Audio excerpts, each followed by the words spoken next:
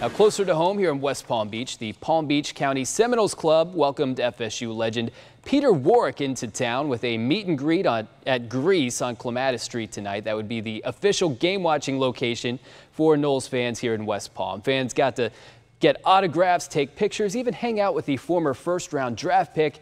Peter Warrick feeling the love tonight.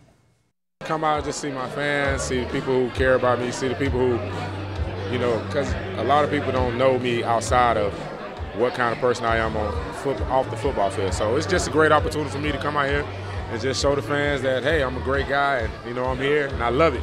I love coming back home.